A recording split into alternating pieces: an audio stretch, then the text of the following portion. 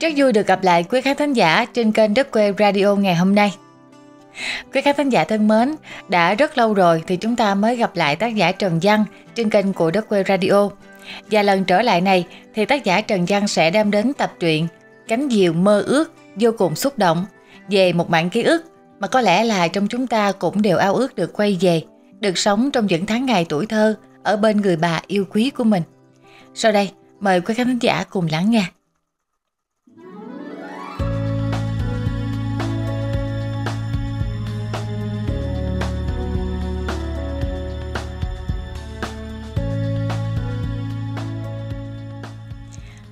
Bình cõng thằng Minh trên lưng, vừa đi vừa nhịp. Thằng nhỏ trên vai cười hiếp mắt, ngây ngô hát. Nhông nhông nhông cha làm con ngựa Để cho con lên cưới trên lưng. Mấy đứa nhỏ hồ hởi, reo hò tiếu tích Chạy theo sau chân của Bình. Một vài đứa cũng muốn bắt chước làm ngựa Cho đứa kia cởi. Nhưng mà tụi nó mới có 9-10 tuổi. Đi còn giáp đất suýt té làm sao mà cổng nổi đứa kia. Trong khi thằng Minh mới có 5 tuổi, còn Bình thì là một người cha đã ngoài 30 tuổi rồi. Bữa nay nhân dịp cuối tuần, được rảnh tay một buổi chiều. Bình như lời hứa, dẫn thằng Minh đi ruộng thả diều với mấy đứa nhỏ trong xóm. Nhiều lần nó đòi anh dẫn đi thả diều, nhưng do công việc bận biệu quá, về tới nhà đã tối mịt nên chưa có thời gian dẫn nó đi. Anh nói nó tới trường học ngoan, được cô giáo khen á, thì anh sẽ dẫn nó đi thả diều một bữa. Thằng nhỏ gật đầu cái rụp, vì giống vậy ở trường nó rất ngoan. Có khi nào mà bị cô giáo la mắng hay là phàn nàn điều gì đâu. Lúc nào cũng được cô khen á, là lễ phép, ngoan ngoãn, mà lại còn thông minh nữa chứ. Bình lót rơm lên một bờ mẫu cao, đặt thằng Minh ngồi xuống. Anh dặn. Con ở đây, không có chạy đi đâu nghe chưa? Để cha với mấy anh thả cho con diều nó bay lên, rồi cho con chơi nghe. Tèo, Tèo, đem con diều qua đây, thả với chú này con. Thằng Minh dạ rang một tiếng, thằng Tèo nghe gọi thì cũng đem con diều lại. mình dặn nó. Bây giờ á, con cầm con diều đi, rồi đi tới phía đằng kia. Chừng nào chú kêu dừng á thì dừng. Ở đằng này, chú sẽ cầm cái đầu dây chú chạy. Khi nào mà dây căng ra, thì con buông con diều ra nghe. Dạ con biết rồi. Thằng Tèo cặp con diều, Chạy ồ tới phía đằng kia, Rồi làm như lời của Bình đã dặn. Anh cầm đầu dây, Chạy thiệt nhanh để lấy trứng, Cho diều bay lên, Rồi thả dây ra từ từ, Cho nó bay càng lúc càng cao Càng cao hơn nữa. Tới khi thấy độ cao đã đạt rồi, Thì mới dừng lại, Đưa đầu dây cho thằng Tèo giữ lấy. Mấy đứa nhỏ thấy tài thả diều của anh điêu luyện, Thì vỗ tay rần rần khen lấy khen để. Thằng Tí nói, chú Bình thả diều hay quá à, thả cái một là lên luôn. Mấy bữa trước tôi còn thả cái chục lần tôi diều mới bay lên được á. Bình xoa đầu nó, cười nhẹ đáp. Tại vì chú lớn tuổi hơn tụi con. Với lại, hồi còn nhỏ như tụi con, chú cũng nhiều lần thả diều thất bại rồi, nên mới có kinh nghiệm như bây giờ đó. Hay quá à, còn mấy con diều nữa nè, Chú thả cho nó bay lên giùm tụi con đi. Không không, Chú không thả giùm, Mà chú sẽ chỉ cho mấy đứa cách thả diều. Mai mốt không có chú đi chung á, Tụi con vẫn thả được diều. Có chịu không nè? Dạ chịu. Bình hướng dẫn cho tụi nhỏ canh chiều gió, Rồi phối hợp một đứa cầm diều, Đứa thì cầm dây, chạy để lấy trớn cho diều bay lên chỉ cách tụi nó giật dây làm sao để diều không bị rớt. Tụi nhỏ chăm chú lắng nghe và làm theo. Kết quả sau một hồi thì tất cả diều của tụi nó đều đã được bay cao lên hết. Đứa nào đứa nấy cười tít hết cả mắt, vỗ tay reo hò sung sướng. Thằng Minh còn nhỏ nên Bình không cho nó tự giữ lấy diều mà phải nhờ thằng Tèo ở kế bên cầm giúp. Khi đó anh mới ngồi ở trên bờ ruộng ngắm nhìn tụi nhỏ đang chạy giỡn căng mắt ngắm nhìn những con diều bay dứt ở trên bầu trời. Lòng anh lân lân một cảm xúc khó tả. Mùi rạ mới, mùi khói đốt đồng ở đâu thoang thoảng, đưa tới một làn hơi dịu nhẹ, làm tinh thần sảng khoái hơn bao giờ hết. Khóe môi anh chợt nở ra một nụ cười, nhưng mà mắt thì đã ngân ngấn lệ từ bao giờ. Vì nhìn tụi nhỏ, anh lại chợt nhớ tới bản thân của nhiều năm trước. Hồi anh cũng còn là đứa trẻ vô tư, vô lo như tụi nó. Nhưng tuổi thơ thì vất vả hơn chúng gấp trăm lần. Hồi đó ông bà nội có tới 6 người con. Cha là con út, cũng là người con trai duy nhất trong nhà nên ở chung với ông bà. Ông bà chỉ có dọn dẹn mấy công đức. Năm người con gái đã gả đi hết. Còn lại một mình cha là chưa cưới được vợ.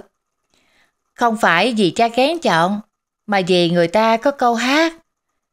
Dí dầu nhà dồn cồn siêu, muốn đi lấy vợ, sợ nhiều miệng ăn. Nhiều miệng ăn á, thì cha không sợ, chỉ sợ gia đình mình nghèo, người ta không dám gả con cho. Sợ con gái người ta về đây làm dâu sẽ chịu cực chịu khổ. Bởi vậy đó, mà 30 tuổi, cha vẫn còn ở mình ơn. Cho tới một lần đi cắt lúa mướn ở nơi khác, cha gặp được mẹ. Khi ấy mẹ là một cô gái mồ côi, ông bà ngoại mất sớm, mẹ ở với bà cố trong một căn tròi nhỏ. Bà cố cũng vừa mới mất được 2 năm. Chắc ông tơ bà Nguyệt đã xe tơ sẵn, nên khi gặp nhau, cha mẹ đã thương nhau, rồi cho dẫn mẹ về nhà ra mắt. Cái đám cưới nhỏ nhanh chóng diễn ra sau đó trong niềm vui, sự chúc phúc của bà con hàng xóm. Mà có lẽ vui nhất là ông bà nội. Cha mẹ kể lại, trong suốt đám cưới, bà nội cười nói không thôi. Nhất là khi có người khen. Chị hai, có được đứa con dâu vừa đẹp người, vừa hiền lành, mà lại lễ phép nữa hen. Thiệt là gia đình có phước hết sức vậy à. Còn ông nội á, thì nhậu hết mình với mấy ông bạn. Thường ngày tủ lượng của ông hơi kém, nhưng mà bữa đó chắc là do vui quá nên ông uống hoài không có say. Về chung nhà, mẹ sinh liền hai năm hai đứa là Bình và An, em gái của anh. Căn nhà nhỏ ngập tràn niềm vui, nhưng đi kèm theo đó là sự vất vả tăng lên bội phần của cha. Thường ngày, hàng xóm hay ghẹo, nói ông bà nội có một người con trai duy nhất thôi. Bởi vậy, đẻ chừng năm bảy đứa cháu nội mới vừa, đẻ nhiều để cưng cho đã. Nói thì nói vậy, chứ đẻ nhiều rồi lấy cái gì mà nuôi tụi nó đây? Bởi vậy, mẹ chỉ sinh hai anh em Bình và An, rồi không sinh thêm nữa. Khi hai đứa lớn được một chút, thì mẹ để hai đứa cho bà nội trong. Mẹ cũng một tay đi làm phụ cha để kiếm tiền. Nhưng rồi, ông nội lâm bệnh nặng, tiền làm ra chỉ đủ nuôi sống cả nhà coi dư giả một chút cũng không đủ để trị bệnh cho ông. Mấy cô thương ông bà nội, thương cha mẹ thì chỉ có thể tới lui thăm nuôi, chứ không phụ được tiền lo cho ông. Vì nhà ai cũng không dư giả gì hết. Với lại, ở chung với bên gia đình chồng thì lấy đâu ra tiền bạc dư giả để mà giúp. Thế rồi, cha quyết định bán luôn mấy công đất đó để có tiền trị bệnh cho ông. Nhưng số tiền bán đất vừa hết thì cũng là lúc ông vừa nhắm mắt lìa đời. Trong lúc hấp hối trên giường bệnh, ông vẫn đủ tỉnh táo để kêu mẹ ẩm hai đứa cháu nội tới cho ông ôm chúng vào lòng. Một đứa lên bốn, đứa mới lên ba. Cứ vậy mà mỗi đứa ngoan ngoãn nằm một bên cho ông ôm lấy. Như thể đang truyền sức mạnh tinh thần giúp cho ông vượt qua cơn hiểm nghèo. Bà nội kể, khi ấy ông quay qua, hôn mỗi đứa một cái, mỉm cười, hai tay siết chặt lấy hai đứa cháu nội, rồi từ từ buông ra. Mắt của ông nhắm lại, cả người mềm nhũng ra. Đó cũng là lần cuối ông còn được ôm ấp Bình và An. Mọi tiếng gọi đều vô ích. Ông sẽ không bao giờ ở lại với bà, với cha mẹ và với hai anh em Bình An nữa. Những tháng ngày sau khi ông nội qua đời, bà nội như người mẹ thứ hai của Bình và An. Sáng sớm, khi chúng còn đang ngủ, thì cha mẹ đã thức dậy, nấu cơm, làm đồ ăn. Một phần đem theo, một phần để ở nhà cho ba bà cháu. Khi chúng thức dậy á, thì cha mẹ đã đi làm rồi. Tới chiều tối, cha mẹ mới về tới nhà. Cả nhà quay quần bên nhau được một lát, thì cũng đã tới giờ đi ngủ. Có khi cha mẹ đi cắt lúa mướn hay là đi làm thuê ở xa, 10 bữa nửa tháng mới về nhà một lần. có khi là cả tháng. Những lần ấy, hai anh em nhớ cha mẹ da giết mà không có dám nói ra. Có lần, Bình thấy bé út ôm gốc cây mận ở sau hè, hướng mắt nhìn về phía hoàng hôn với những cánh chim chiều đang bay về tổ. Nó tới gần, định hù cho con nhỏ em nó giật mình, thì người giật mình trước lại là nó. Hình như nó nghe có tiếng thúc thích. Em nó đang khóc thì phải. Nó bước nhẹ nhẹ tới, đặt tay lên vai đứa em. Nó khẽ hỏi. Em sao vậy? Sao em khóc? Ai hiếp em hả Út? Ừ, dạ không phải. Em em nhớ mẹ, nhớ cha quá anh hai ơi. Bình nghe đứa em nói mà nước mắt của nó cũng tuôn trào theo. Nó ôm em vào lòng, vuốt tóc, an ủi đứa em. Thôi, bé Út ngoan nè. Anh hai cũng nhớ cha mẹ có khác gì Út đâu à. Nghe lời anh hai, đừng có khóc nữa nghe. Nội nghe, nội sẽ khóc theo đó. Nội lớn tuổi rồi, nội mà khóc là ảnh hưởng tới sức khỏe của nội đó. Nghe chưa? Dạ anh hai. Nhưng mà chừng nào cha mẹ mới về? Sao cha mẹ đi hoài vậy anh hai? Bộ cha mẹ không thương anh em mình nữa hả? Nói bậy nè, cha mẹ thương anh em mình nhất trên đời luôn đó. Nhưng mà cha mẹ phải đi làm để kiếm tiền lo cho cả nhà. Bé Út không có được khóc nha, phải mạnh mẽ lên để cha mẹ yên tâm đi làm, có biết không? Dạ Út biết rồi, Út không có khóc nữa. Mai mốt anh em mình lớn, mình sẽ kiếm thiệt nhiều tiền để cho cha mẹ khỏi đi làm xa nữa em hai. Ừ, Út nói đúng rồi. Thôi, đến khóc đi, để không thôi bà nội nghe được đó. Bé Út nín khóc, nó nghe tiếng chim dịch kêu chiều. Tự nhiên trong miệng lại thốt ra câu hát. Chắc nó không hiểu hết được ý nghĩa của câu hát đó đâu.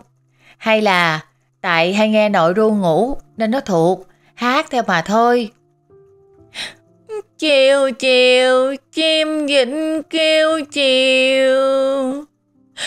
Băn quân nhớ mẹ, chấm chiều, đường đau.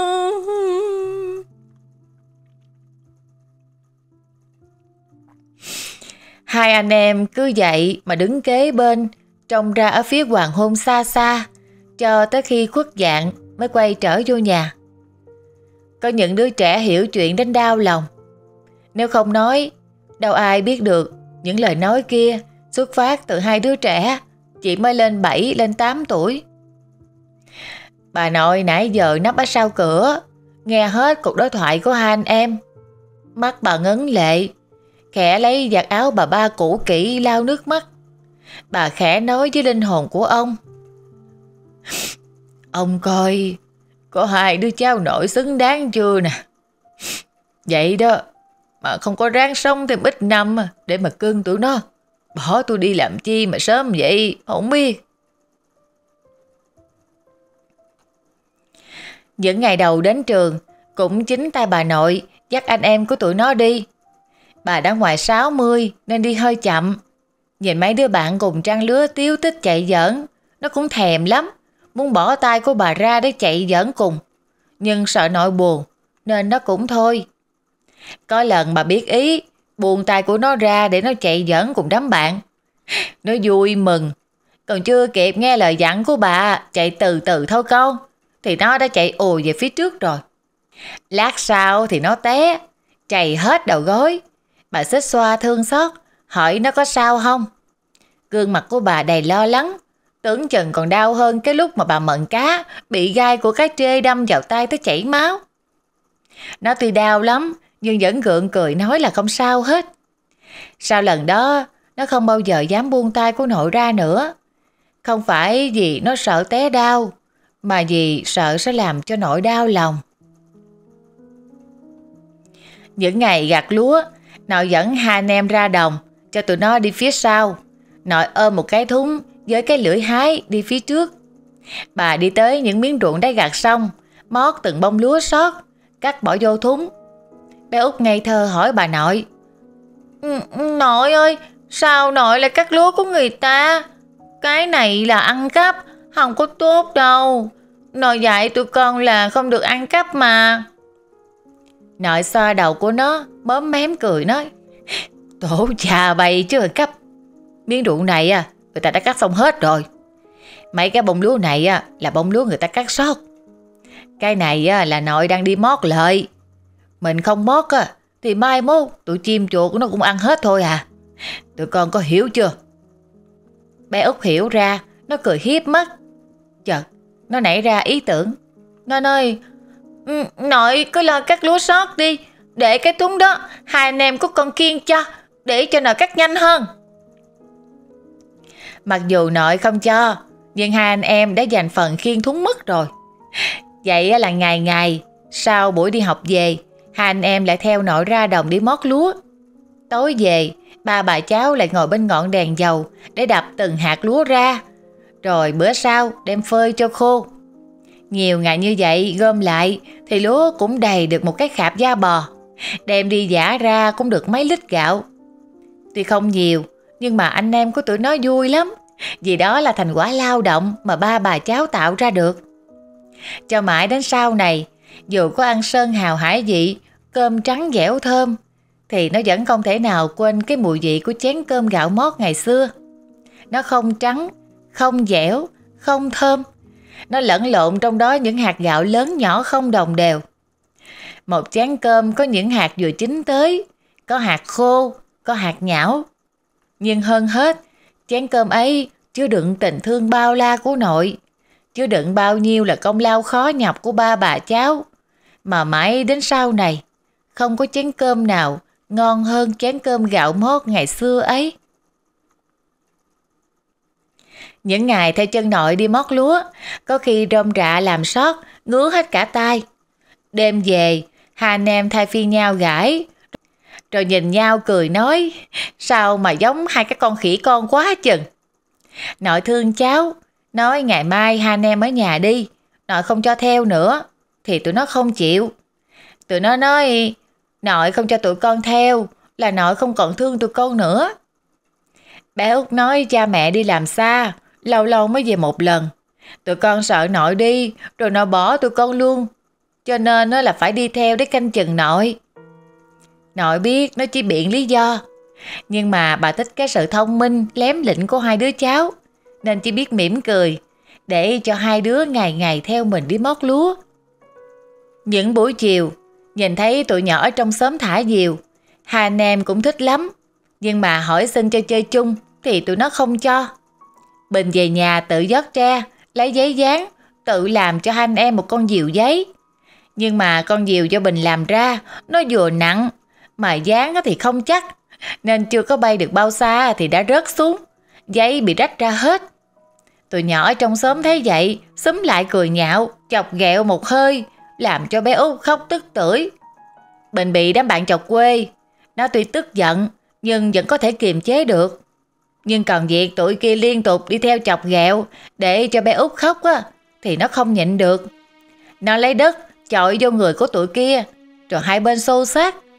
Một mình nó đánh nhau với ba bốn đứa, nó đánh không lại, bị tụi kia đánh cho bầm tím hết cả mặt mày. Bé Út thấy anh bị đánh thì cũng sợ, nó vừa khóc vừa kéo tụi kia ra. Nhưng nó là con gái, lại nhỏ tuổi hơn, không thể ngăn cản được trận đánh nhau đó. Mai sau có chú Tư hàng xóm đi ngang nhìn thấy rồi can ra, lòi cả đám vô nhà. Đứa nào cũng bị phụ huynh đánh đòn một trận. Đánh nhau là chuyện của con nít, phụ huynh của tụi kia cũng biết điều. Họ dẫn con của họ tới nhà để xin lỗi nội, xin lỗi thằng Bình, con An. Nội cũng chẳng làm khó làm dễ gì. Đôi bên người lớn, bên nào cũng hiểu chuyện, nên chẳng xảy ra cự cãi hay là xích mích chi hết. Người ta về hết rồi, nội mới ra hè, chặt một nhánh tre tươi. Bé út ban đầu còn hí hửng, tưởng nội chặt nhánh tre để xỏ cá lóc nướng chui cho tụi nó ăn.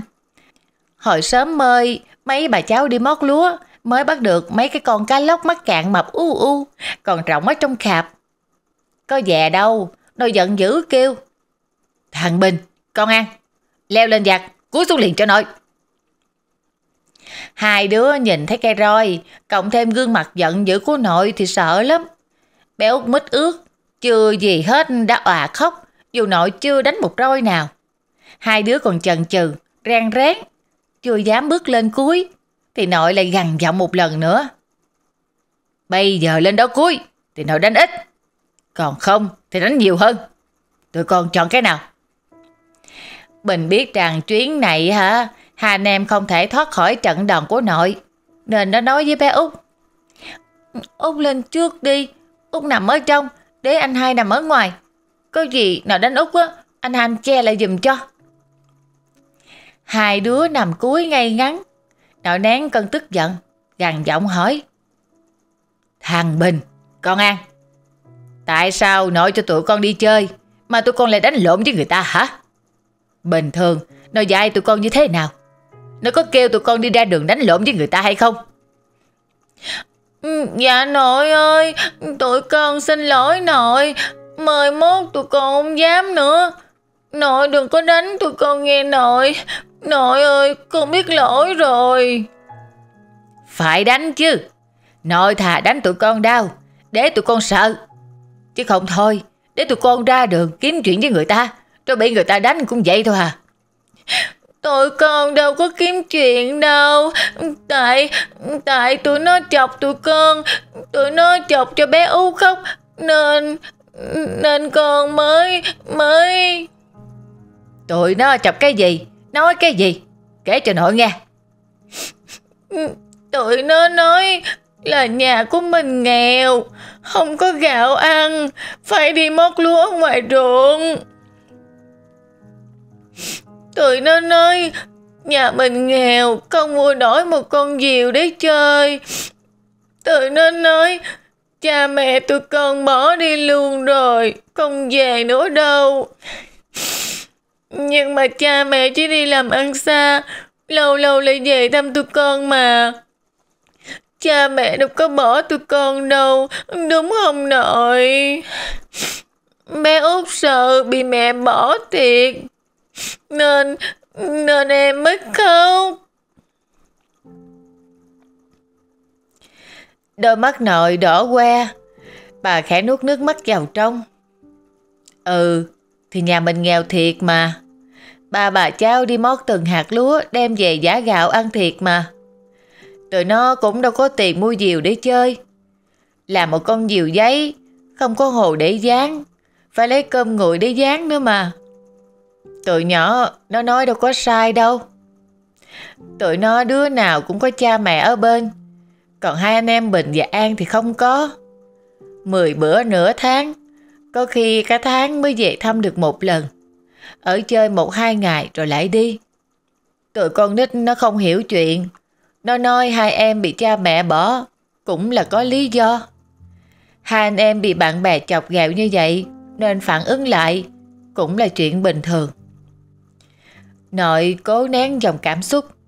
Bà nói, chuyện người ta nói là chuyện của người ta. Mình có hay không thì mình tự biết. Cho dù bất cứ lý do gì, tụi con đánh lộn mới là sai. Có biết không hả? Dạ, tụi con biết rồi thưa nội. Mời mốt, không được đánh lộn với người khác nữa. Có biết chưa? Hai đứa dạ rang, hứa với nội một lần nữa Nội chỉ đánh mỗi đứa một roi cho chừa cái tội đi đánh nhau. Nội đánh đau cho nhớ, chứ không phải đánh cho có lệ. Đó là lần đầu tiên tụi nó bị nội đánh đòn và cũng là lần duy nhất trong đời.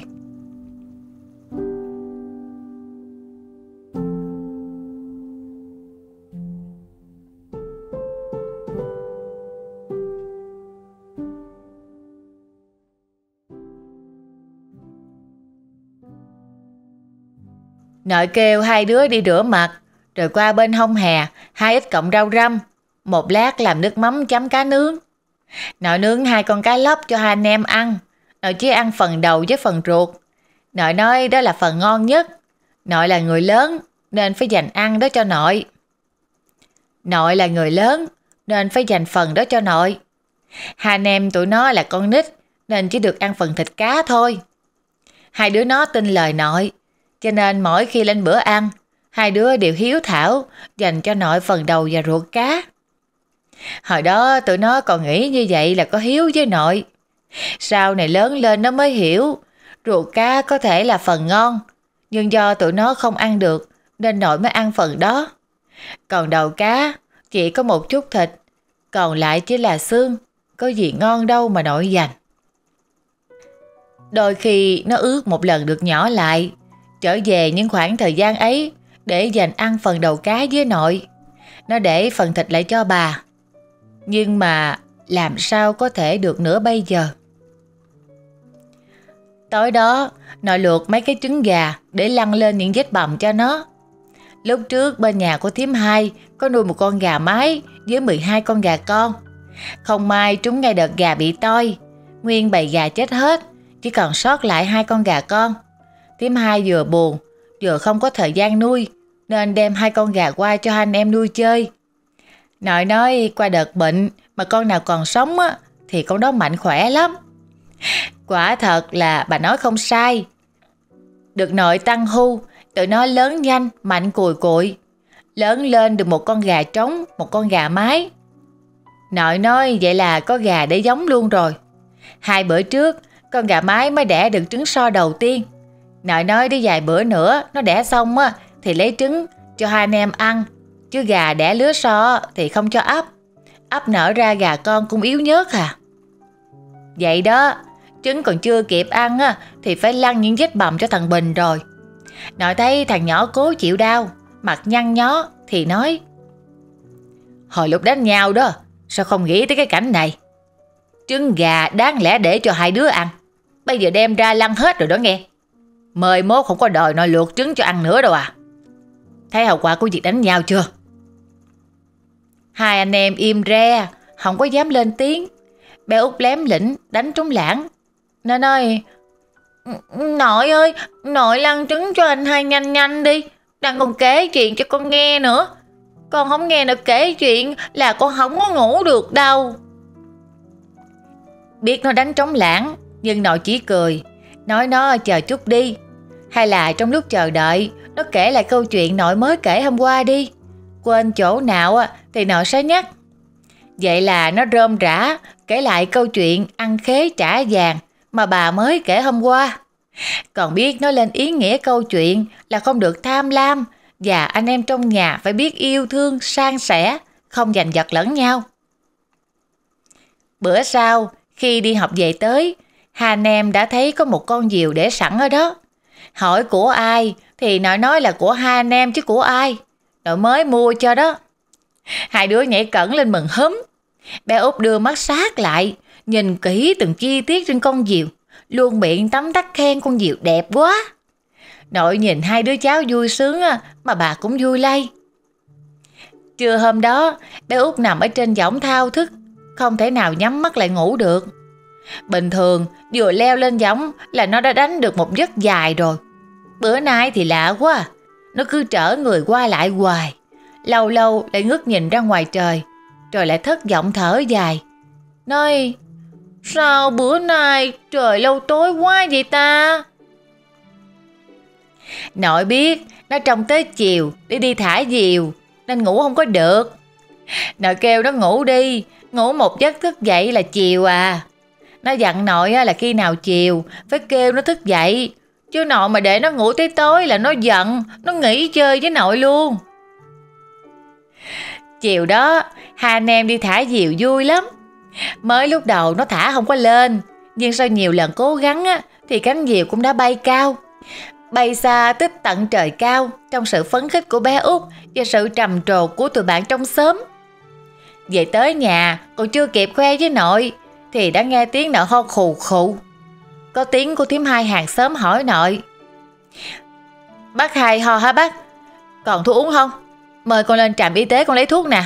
Bác có lấy á, thì con lấy luôn cho. Nội ho thêm mấy tiếng rồi mới đáp. Tao hết thuốc rồi. Mà thôi, chờ được sau đi. Đợt này tao hết tiền rồi. Ủa, chứ anh chị út đi, không có để tiền lợi nhà cho bác với mấy đứa nhỏ sao? Ờ, có. Nhưng mà cái tiền mua thuốc của tao à, thì hôm qua tao lấy ra, tao mua con diều cho hai đứa nhỏ chơi rồi. Tội nghiệp tụi nó. Còn đây à, có một chút tiền để dành mua đồ ăn cho tụi nó. Tao ra giường bẻ mớ thuốc nam vô uống cũng được mà. Dạ thì nó bệnh rề rề, chứ có bệnh gì nặng lắm đâu mà phải sợ. Hai anh em nhìn nhau, mặt bé út hồi nãy hớn hở bao nhiêu, thì bây giờ bí xị bấy nhiêu. Thì ra, nội lấy tiền mua thuốc để mua con diều cho hai anh em chơi. Niềm vui của hai anh em được đổi sang bằng những cơn ho và cơn đau lưng mỏi gối của nội. Thử hỏi, làm sao mà hai anh em có thể vui được chứ? Bé út ngập ngừng, hỏi anh hai. Bây giờ, bây giờ phải làm sao đi anh hai? Thằng Bình suy nghĩ hồi lâu, nó ghé tai nói nhỏ cái gì đó. Bé út gật đầu, dân dạ theo. Lát sau, nội vô nhà, hỏi hai anh em đi thả diều có vui không? Hai đứa là mặt buồn so mà đáp. Dạ, không có vui nội ơi. Tự nhiên tụi con thấy thả diều chán quá à. Hay là... Hay là nội đem con diều trả lại cho người ta đi ngang nội. Tụi con không muốn chơi tới diều nữa đâu. Nội nghe vậy á thì giận lắm. Nội nói hơi lớn tiếng, giọng có vẻ hờn giỏi. Bữa thì đòi chơi cho bằng được. Mua cho chơi thì mới có một bữa than chán, đòi trả lại rồi. Tụi con học ở đâu ra cái thói đua đội đó vậy hả? Hai anh em nín thinh, cúi đầu không có dám trả lời. Nội lại hỏi, Thằng Bình, con An, trả lời cho nội nhanh lên. Tụi con học ở đâu ra cái thói đó hả? Có biết thói đó là xấu hay không hả? Tại sao đội cho thả diều, nội mua cho con diều để thả? Mới có một ngày à thì than chán rồi. Thằng Bình rưng rưng nói, Dạ, nhưng mà nếu không đem trả con nhiều lợi thì tiền đâu mà mua thuốc cho nội uống. Lỡ nội bệnh nặng rồi tụi con biết làm sao. Bé Út cũng lý nhí. Nội ơi, đem trả con diều đi nghiêng nội, lấy tiền mua thuốc nghiêng nội. Tụi con không có cần chơi nữa đâu. Nội ôm hai đứa cháu vào lòng. Mắt của bà lại đỏ que. Phải chờ rất lâu để ngăn dòng xúc cảm thì bà mới nói được. Khờ quá, thuốc nội vẫn còn. Tiền này á là tiền nội lượm dây chai bán được, chứ đâu phải tiền mua thuốc của nội đâu. Nội đừng có gạt tụi con, hồi nãy con nghe nó nói chuyện với tím hai rồi. Tiền này là tiền mua thuốc của nội mà. Biết rằng hai đứa nhỏ đã nghe được câu chuyện lúc nãy, bà dội cười nói. Biết hai đứa thương nội rồi, nhưng mà nội cũng thương hai đứa con mà. Nội có thuốc nam uống là được rồi. Mời mốt có tiền à, nội sẽ ra trạm mua thuốc sau. Với lại, Diệu mua rồi à, thì không thể nào mà trả lại được đâu. Tụi con cứ chơi đi nghe, đừng có lo cho nội. Nội tới nói lui, thì con Diệu mua rồi cũng không có thể trả lại được. Nhưng mà hai đứa cũng không có đem con Diệu đi thả nữa. Nội cũng không trách mắng, trầy la, mà ngược lại còn thấy thương hai đứa cháu nhiều hơn. Chiều chiều, hai anh em ngồi phía sau nhà, ngẩn nhìn những cánh diều đang bay cao ở phía chân trời xa xa. Thằng Bình nói, Út nè, mời mốt, anh em của mình phải cố gắng học thiệt giỏi đó nghe chưa? Đấy, chi dành hai? Thì mình phải học giỏi để lo cho nội, cho cha mẹ nè. Mình sẽ kiếm tiền để cất cái nhà thiệt bự cho cả nhà mình cùng ở. Mình có tiền mua thuốc cho nội nè, mua nhiều đồ ăn ngon cho nội nè. Cha mẹ cũng sẽ ở gần mình, không còn phải đi làm ăn xa nữa. Bé út gật đầu. Dạ, anh hai nói đúng rồi. Nhưng mà em... Ừ, em học dở ẹt à. Cố gắng lắm rồi mà ngày nào cũng bị cô giáo chê. Chán quá anh ơi. Không sao đâu, cố gắng là sẽ được. Mời mốt anh hai sẽ kèm thêm cho em.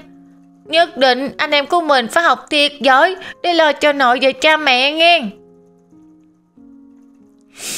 Hai anh em cứ vậy mà lớn lên trong sự thương yêu chở che của nội. Nhìn lưng nội ngày càng còng queo, tóc nội ngày càng bạc phơ mà thương hết sức.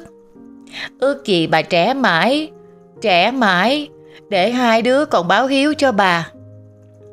Cha mẹ sau một thời gian tích lũy vốn liếng thì cũng mua được mấy công đất ruộng ở gần nhà để canh tác, rồi thuê thêm một số miếng đất khác để làm kiếm thêm, không còn phải đi làm ăn xa nữa.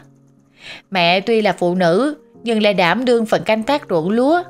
Cha thì đi làm thuê không nghỉ ngày nào. Ai thuê gì cha làm đó. Từ đi nhận thùng đất cho người ta, tới giác mương, giác ao, đào đất, phụ hồ. Cha làm không một ngày nghỉ ngơi. Những tưởng cuộc sống gia đình tới đó sẽ êm ấm hơn, đỡ vất vả hơn phần nào. Thì biến cố lại xảy đến. Cha bị té giàn giáo, gãy một chân, đầu chấn thương nặng, hôn mê sâu. Bác sĩ nói phải phẫu thuật, chi phí lại rất cao. Do cha lao động không có hợp đồng nên phía bên chủ thầu phủi trách nhiệm. Họ nói do cha làm việc không cẩn thận chứ không phải do họ. Họ chỉ bồi thường cho một số tiền nho nhỏ rồi phủi bỏ hết trách nhiệm. Khi ấy, Bình đang học lớp 12, chuẩn bị sang năm sẽ thi lên đại học. Còn bé Út thì đang học lớp 11. Nội thì đã lớn tuổi lắm rồi. Tuy bà còn mạnh khỏe, tự đi lại được, nhưng cũng chỉ có thể quanh quẩn ở trong nhà, chứ không thể nào giúp mẹ lo việc đồng án hay chăm sóc cha ở trong bệnh viện được. Bé Út thấy việc nhà đang rối thì quyết định nghỉ học để phụ mẹ một tay. Em nói Anh ai học đi, có tương lai nên anh ráng học đi. Em học toàn xém bây ở lại lớp, học tới đây cũng hên lắm rồi. Có học tiếp con có đi tới đâu. Thôi thì em nghỉ học để phụ mẹ lo cho cha. Sau này á, anh hai thành tài, anh lo lại cho em là được. Nội, mẹ và cả Bình đều không đồng ý. Nhưng rồi không ai có thể khuyên bảo, đành để em nghỉ học rồi phụ giúp cho mẹ một tay. Nhờ vậy mẹ cũng đỡ phần gánh nặng. Số tiền phẫu thuật cho cha rất lớn. Mấy cô nghe tin thì cũng hùng vô phụ giúp một tay, nhưng cũng không đủ. Mẹ tính toán bán hết mấy công đất mới vừa mua hồi 2 năm trước với mấy chỉ vàng dành dụm, rồi chạy dại dây ở khắp nơi, nhưng chẳng thấm vào đâu. Có người thỏ thẻ vào tay, họ nói để họ làm mai cho một gia đình giàu có, gả bé út về đó để lấy tiền xính lễ lo cho cha. Mẹ vừa nghe xong thì cự tuyệt, nói như vậy là bán con, chứ không phải gả con. Có chết mẹ cũng không chịu. Người đó lại đem chuyện nói với bé út. Con nhỏ vì thương cha, thương mẹ nên nó đồng ý lấy chồng. Cả nhà hết lời ngăn cản, nhưng cuối cùng vẫn phải để con bé đi lấy chồng. Vì thật sự lúc đó cũng đã hết cách rồi. Cha thì đang cần tiền gấp, chờ thêm một ngày thì cha càng thêm quy kịch một ngày. Bên đàn trai qua dạm ngõ, nhìn thấy bé út là họ ưng bụng liền. Con bé vừa đẹp người lại lễ phép, giỏi làm công việc nhà. Cưới được một con dâu như vậy thì không còn chỗ nào để chê cả. Chồng bé út là một thanh niên lớn hơn em tới một con giáp. Anh ta có tướng người cao ráo, gương mặt phúc hậu, ưa nhìn, cũng lễ phép. Nghe nói trước giờ chỉ lo làm ăn, không muốn cưới vợ. Bây giờ gia đình hối thúc quá, nên anh nói muốn cưới ai cho anh ta cũng được, không kén chọn gì cả. Bữa qua nói chuyện, nhìn thấy gia đình bên đó rất đàng hoàng, lịch sự, nên mẹ với nội cũng an tâm gả bé út đi. Hy vọng con mình về đó sẽ có một cuộc sống tốt, không bị chồng và gia đình chồng đối xử tệ. Gia đình bên đó biết bên này đang gặp khó khăn, nên đưa trước luôn phần xính lễ để lo cho cha trước, định ngày rước dâu sau. Rồi ca phẫu thuật của cha cũng thành công. Tuy qua khỏi cơn nguy kịch, nhưng bác sĩ nói cha có thể sẽ sống thực vật suốt đời, trừ khi có kỳ tích xảy ra. Nhìn cha nằm đó, chỉ có hơi thở phập phồng, không cử động, không nói năng. Ai cũng thấy đau lòng. Ngày rước dâu, mẹ với nội khóc hết nước mắt, tiện bé út về nhà chồng. Con bé ngày thường đã xinh đẹp, làm cô dâu còn đẹp bội phần. Nhưng mà nước mắt đã làm trôi hết đi lớp son phấn trang điểm trên gương mặt. Như thể rửa trôi hết đi quãng đời thanh xuân còn lại của người con gái, chỉ mới 17 tuổi đầu, đã phải về làm dâu nhà người ta. Trước khi bước ra khỏi nhà, bé Út tới bên giường bệnh của cha, nắm chặt tay cha, nghẹn ngào mãi mới nói được một câu. Cha ơi, con gái đi lấy chồng nghe cha. Cha nhớ mau mau khỏe lại đó. Mời mốt, con sẽ về thăm cha. Đặt tay cha xuống trở lại, em quay bước đi để không phải khóc thành tiếng nức nở. Không ai để ý, hình như cha có nghe được mấy lời đó của em thì phải. Hình như mấy ngón tay của cha vừa khẽ cử động. Bên khóe mắt của cha vừa nhỏ ra một giọt lệ thì phải. Chần chừ mãi mà chưa chịu bước xuống xuồng. Bé út ngó nghiêng tìm kiếm gì đó. Hỏi á, thì em nói anh hai đâu rồi? Sao anh hai không tiễn con theo chồng? Bộ, anh hai không thương con nữa hả? Mọi người cùng nhau đưa mắt tìm. Cô Tư chỉ về phía góc giường. Cô nói À, nó đằng đó kìa. Thằng Bình, em mày theo về nhà chồng mà không tiễn nó đi được hả? Mắc gì đứng ôm cái trứng cá đó chi vậy? Em mày đây, sống ôm. Thì ra nãy giờ mình đứng ôm gốc cây trứng cá trong giường. Đứng xa xa nhìn em gái theo về nhà chồng chứ chẳng dám tới gần. Cây trứng cá đó lớn lắm. Đó là tuổi thơ của cả hai anh em. Hồi nhỏ, hai anh em thường hay chơi quanh quẩn ở đó. Anh thường hái trứng cá cho bé Út ăn. Giờ Út đã đi lấy chồng để có tiền lo cho cha. Có lẽ Bình buồn lắm mà không biết phải làm sao.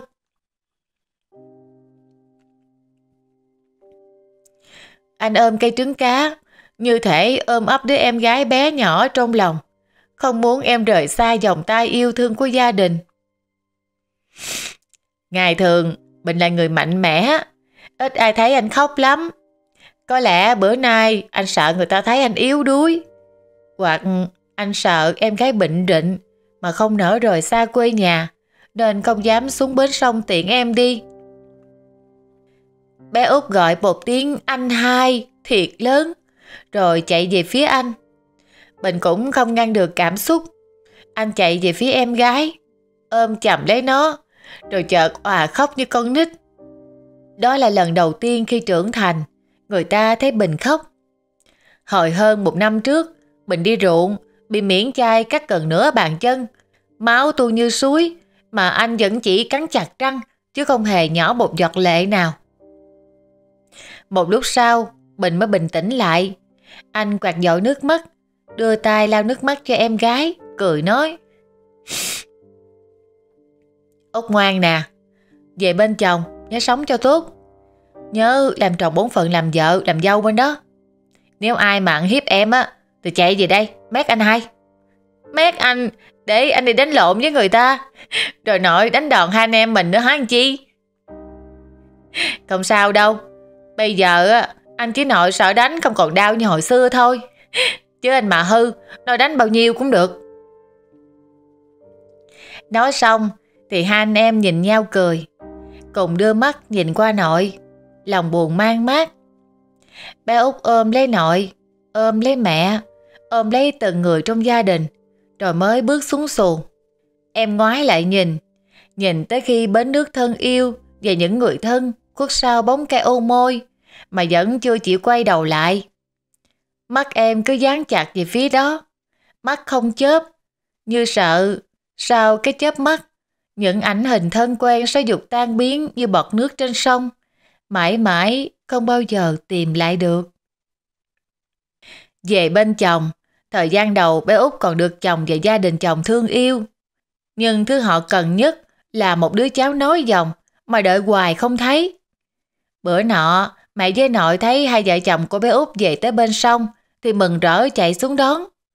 Nội với mẹ hồ hởi lắm, nhưng gương mặt của bé út thì bí xị, không vui vẻ như mọi khi. Hành lý em mang theo chỉ có mấy bộ đồ cũ được để trong cái giỏ lát. Thấy bất thường, mẹ hỏi có chuyện gì, thì hai vợ chồng nói để lên nhà rồi thưa chuyện sau. Thì ra cho cưới về hơn 2 năm mà chưa có con, gia đình bên đó ép buộc chồng em phải thôi em để cưới vợ mới. Anh nói anh thương Út, nhưng mà không thể cãi lại gia đình được. Họ yêu cầu bé Út trả lại hết số nữ trang mà họ đã cho trong ngày cưới. Còn số tiền xính lễ hồi đó dùng để phẫu thuật cho cha thì coi như họ bố thí, làm phước để tích đức cho con cháu đi, không cần đòi lại. Bao nhiêu quần áo đẹp họ sắm cho em, họ cũng lấy lại. Họ nói vì bên đây nhà nghèo, mặc mấy bộ đồ đó không có hợp. Những bộ đồ em đem theo về đều là những bộ đồ hồi lúc lấy chồng đã đem theo. Hồi mới về bên đó, mặc được vài lần thì họ chê quần áo quê mùa quá, kêu em đốt hết đi, rồi họ mua quần áo mới. Chứ ăn mặc như vậy, người ta nhìn vô, người ta đánh giá gia đình của họ. Những bộ quần áo đó, đối với người khác, nó chỉ là một bộ đồ quê mùa. Nhưng đối với Út, đó đều là những món quà vô giá mà cha mẹ đã bỏ bao nhiêu mồ hôi nước mắt, lao động khó nhọc mới sắm được cho em. Em trân quý, xếp gọn nó vô một góc. Khi nào nhớ cha mẹ, nhớ nhà, thì đem ra nhìn cho đỡ nhớ. Không đánh đập, không mắng chửi, không tiếng nặng, lời nhẹ nào.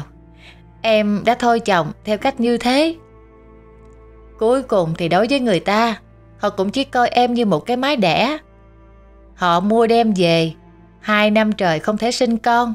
Mặc kệ nguyên nhân là do đâu, họ không thích nữa thì họ trả về. Họ sẽ đi kiếm một cái mái đẻ khác để thay thế em. Bữa nọ, bé Út đang dọn đồ ăn lên á, thì chẳng may dắp chân, suýt nữa té. Mai mà có mẹ đỡ lấy em. Em xích xoa, nhăn nhó đầy đau đớn. Nhưng rồi lại làm nét mặt tươi rói như chưa hề xảy ra chuyện gì. Nhưng hành động đó không qua được mắt của mẹ. Mày giả giờ hỏi han rồi nhanh nhẹn dán tay áo của em lên khiến em không kịp ngăn cản lại.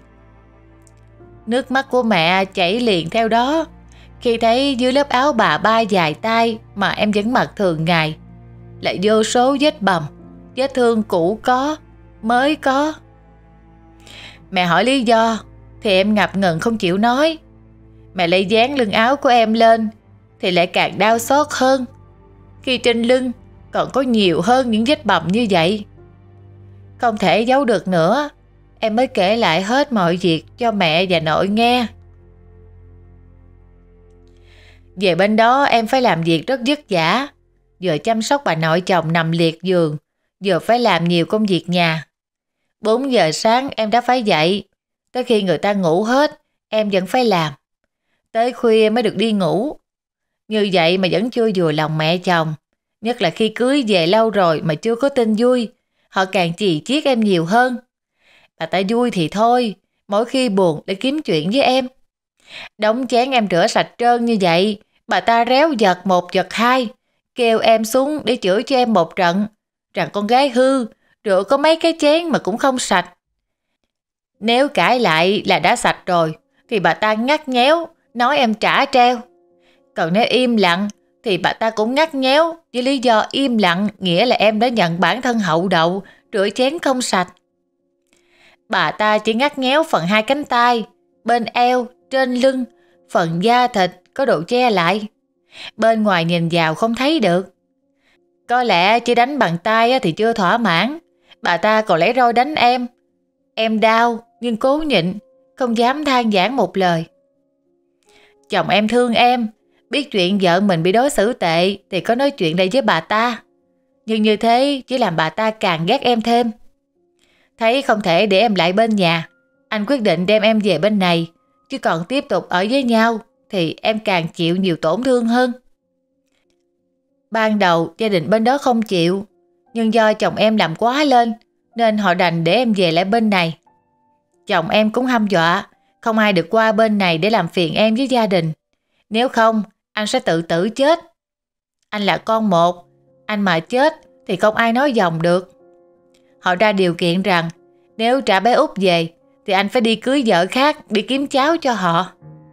Bất đắc dĩ, anh phải đồng ý. Nghe em kể xong, nội và mẹ khóc hết nước mắt, thương cho đứa nhỏ tội nghiệp. Vậy đó, mà mấy lần trước về đây, em không hề kể ra cho mọi người nghe, còn luôn miệng khoe gia đình chồng đối xử rất tốt, cha mẹ chồng rất thương yêu em. Có vẻ đâu hơn hai năm qua, em phải sống trong cảnh như thế. Nhưng thôi, mọi chuyện cũng đã qua. Bây giờ em đã về đây với nội, với cha mẹ. Mai mốt đây, em sẽ được sống trong sự yêu thương của gia đình. Chắc chắn sẽ không còn ai có thể ăn hiếp em được nữa. Hàng xóm ai hiểu chuyện thì thông cảm, ai ác miệng thì lời ra tiếng vào. Nói em là cây độc không trái, gái độc không con. Có người còn đồn, em ở bên đó lăn loạn với trai, bị gia đình chồng bắt được nên mới trả về. Do người ta muốn giữ mặt mũi cho cả đôi bên, nên họ không làm lớn chuyện. Lúc đó Bình đang học đại học ở trên Sài Gòn. Mấy lần về chơi, tình cờ nghe được mấy thanh niên ở trong xóm bàn tán những lời không hay về bé Út. Anh bước tới, chỉ mặt hăm dọa từng thằng. Tụi nó ỷ đông nên nghênh mặt thách thức, tiếp tục buông những lời khó nghe về bé Út, khiến cho cơn nóng giận trong người Bình lên tới đỉnh điểm. Không nói thêm nhiều, anh lại lao vào đánh nhau với tụi nó như hồi mười mấy năm trước. Thế nhưng, Bình bây giờ không còn là thằng Bình mới lên 9 lên 10 tuổi nữa. Dù cho tụi nó có tới 3-4 đứa, thì Bình biết cách đánh. Vừa đánh, vừa né, chụp được thứ gì là anh cầm lên để làm vũ khí. Anh cuồng nộ như một con trâu nước bảo vệ đứa con trước một lũ chó săn hèn hạ, khiến cho chúng cũng dè chừng, không dám tấn công. Tụi nó biết bản thân sai, lại thêm thấy Bình hung dữ quá nên cũng thôi, không dám làm lớn chuyện mà mạnh đứa nào đứa nấy bỏ về. Bình chống nạnh, chỉ tay về phía tụi nó cảnh cáo. Tao mà còn nghe tụi mày nói xấu em tao một lần nữa, thì đừng có trách tao. Thằng Bình này, dám nói là dám làm. Đừng có chọc cho máu của tao nổi lên. Chuyện Bình đánh nhau với tụi thanh niên nhanh chóng được đồn đi khắp sớm. Chưa về tới nhà mà tin tức đã truyền tới tai của nội và mẹ. Bình vừa về tới, nội đã hỏi. Hay quá trời ha. Bữa nay lại đi đánh lộn nữa. Còn biết còn bao nhiêu tuổi chưa Bình? Bình nói bằng giọng khẳng khái. Không phải là một thằng Bình nhút nhát, sợ đòn roi như năm xưa. Con biết nó không cho con ra đường đánh lộn với người ta. Nhưng mà tụi nó dám nói xấu em của con. Thì cho dù đó là ai, con cũng không có bỏ qua đâu. Con thà bị nội đánh đòn, còn hơn để người ta bôi nhọ em của con. Út, ra sao hè, chặt cho nội nhánh rồi, lẹ lên. Bé Út chần chừ, chưa chịu cất bước, thì nội đã nói. Chặt cây roi để làm gì? Hồi đó còn nhỏ, nội sợ con kiếm chuyện gây sự với người ta, nên nội mới không có cho đánh nhau ngoài đường. Bây giờ lớn rồi, suy nghĩ và hành động chính chắn. Mày đánh tụi nó là phải. nội khen mày, Mời mốt, cứ thấy đứa nào bôi xấu con út, thì mày cứ đánh nó cho nội. Mày mà không đánh à, thì về nhà, rồi đánh mày. Mấy năm nay, Bình lên Sài Gòn học. Anh học rất giỏi, lại chăm chỉ đi làm thêm để trang trải cho cuộc sống. Dưới nhà, mẹ với bé út vừa chăm sóc cho cha, cho nội, vừa làm lụng. Tuy vất vả, nhưng cuộc sống vui vẻ, đủ ăn đủ mặc. Còn dư giả được chút đỉnh á, thì gửi lên Sài Gòn phụ cho Bình lo việc học. Tiền mẹ gửi lên, tiền đi làm thêm kiếm được, Bình hà tiện xài nhín nhút từng đồng, nên không bao giờ thiếu hụt. Mẹ nói anh ráng mà lo học. Hồi đó bé út đi lấy chồng để có tiền lo cho cha. Bây giờ mẹ với em ráng làm, lo cho anh ăn học. Mai mốt thành danh rồi, nhớ lo lại cho em nó. Đời em nó đã khổ nhiều lắm rồi. Không cần mẹ phải dặn, lo cho nội, lo cho cha mẹ, lo cho bé út là điều mà chắc chắn Bình phải làm được. Không phải vì bây giờ họ lo cho anh, rồi sau này anh phải lo lại như một sự trả ơn. Mà đó là bổn phận và trách nhiệm của một người làm con, làm anh như Bình phải thực hiện. Một niềm vui lớn lao nữa là khi bé út trở về một thời gian Tự nhiên sức khỏe của cha được hồi phục lại sau mấy năm sống đời thực vật. Cha đã tỉnh lại, có thể nhìn mọi người, có thể cười, mở miệng nói một vài câu đơn giản. Cả nhà ai cũng vui. Như bác sĩ đã nói, chỉ có kỳ tích xuất hiện thì cha mới có thể bình phục. Và quả thật, điều kỳ tích ấy đã xảy đến. Cả nhà đã sum họp, Bình cũng đã bước vào năm cuối đại học. Chờ ngày báo cáo tốt nghiệp, ra trường đi làm nữa là cả gia đình coi như đã viên mãn. Ai ai cũng mong chờ ngày Bình cầm tấm bằng tốt nghiệp trong tay, đem về khoe với gia đình. Cả nhà sẽ mở tiệc lớn để ăn mừng, mời hết bà con trong dòng họ và sớm diện tới để chung vui. Bảo vệ khóa luận tốt nghiệp xong, Bình bước ra khỏi phòng với niềm vui khó tả. Anh gọi điện về ngay cho bé Út. Út vừa nhấc máy thì Bình đã hồ hởi nói một tràng. Út khoa em, nói với nội với cha mẹ là anh hai đã báo cáo tốt nghiệp xong rồi nghe. Anh được hội đồng đánh giá rất cao, được tốt nghiệp lợi giỏi luôn nè. Thấy hai cốt giỏi chưa nè? Út thông báo liền đi cho cả nhà vui nha. Ngày mới anh hai mới về được á, còn phải ở lại đi ăn mừng với mấy đứa bạn nữa. Đầu dây bên kia, Út vừa khóc vừa nói muốn không thành tiếng. Anh hai ơi, anh hai về liền đi có được không? Nội, nội mất rồi anh hai ơi.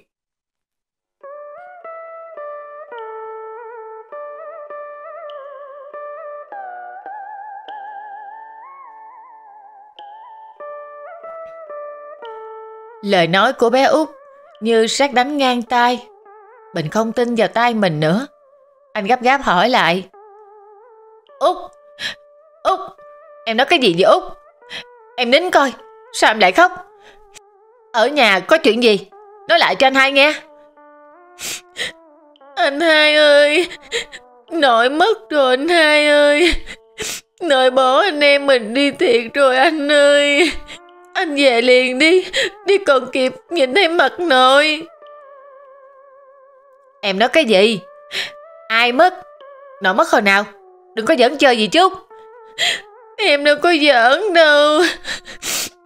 Nội mới mất hồi sáng này. Nội ngủ mà nội không chịu dậy.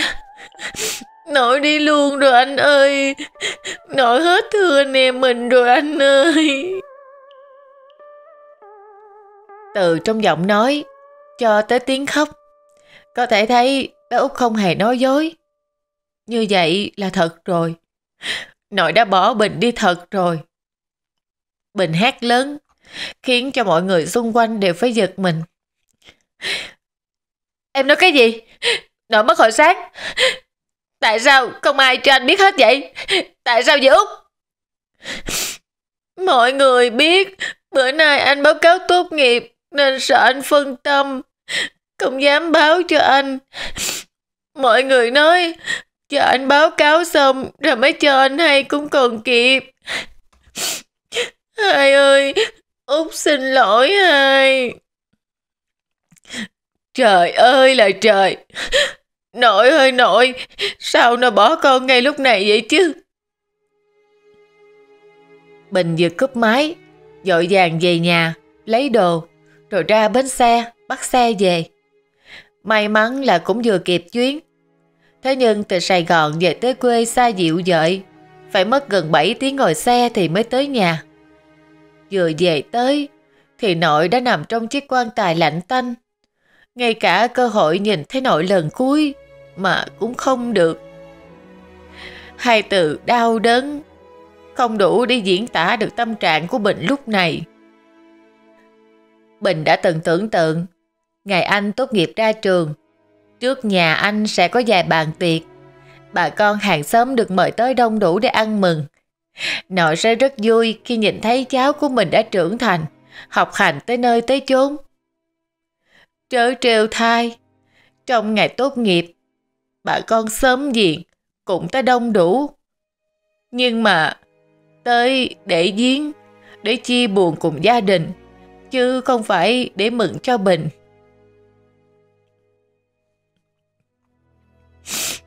Nhớ hồi còn sống, lúc nào nội cũng nói Ơi, nhìn thấy mấy người già bệnh nằm một chỗ, đầy đọ con cháu. Sao tao thấy khổ quá bay ơi. ước gì trời Phật thương. Chừng nào tới số, cho con đi một cái cho thiệt ngọt, chứ đừng có bắt con nằm một chỗ nghe không trời. Có lẽ lời khẩn cầu đó của nội đã được trời Phật chứng giám, nên mới cho nội toại nguyện, ra đi một cách nhẹ nhàng, thanh thản. Thế nhưng, tại sao? Tại sao nội không chờ được thêm dù chỉ một ngày nữa thôi? Một ngày nữa thôi, để Bình có thể nói với nội rằng Nội ơi, con đã tốt nghiệp rồi. Giờ đây, Bình chỉ có thể gửi lời tâm sự của mình qua nén hương trầm nghi ngút. Hy vọng ở thế giới bên kia, nội sẽ nghe thấy, nội biết được mà sẽ mỉm cười mãn nguyện.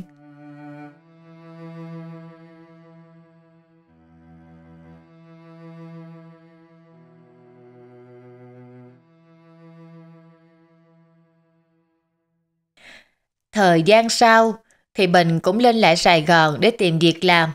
Anh rất giỏi lại siêng năng nên công việc ngày càng thăng tiến, tiền lương cũng khá cao.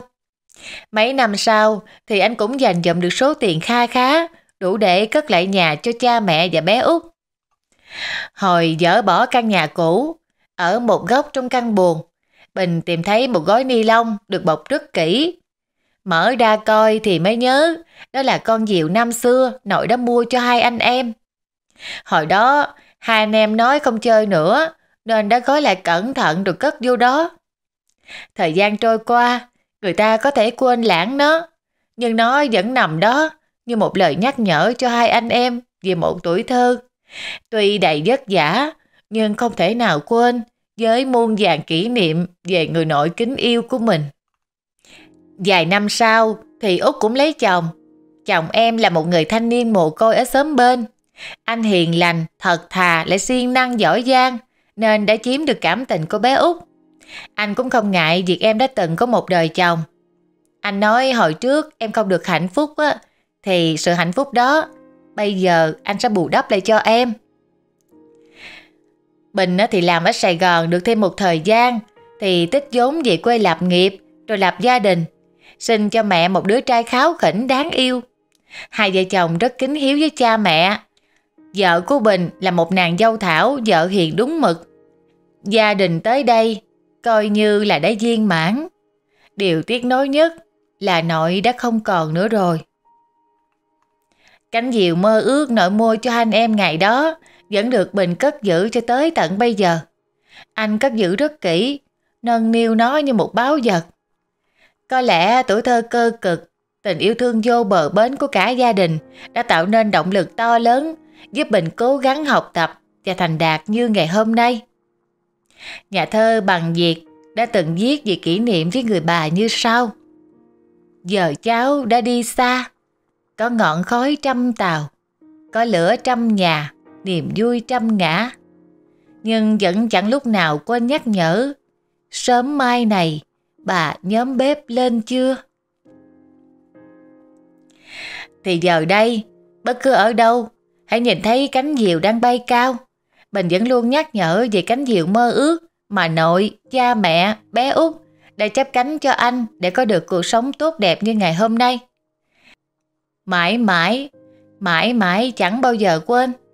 Và rồi anh cũng sẽ chấp cánh cho những thế hệ mai sau, hệt như cái cách ngày xưa mà nội và cha mẹ bé út đã truyền động lực cho mình.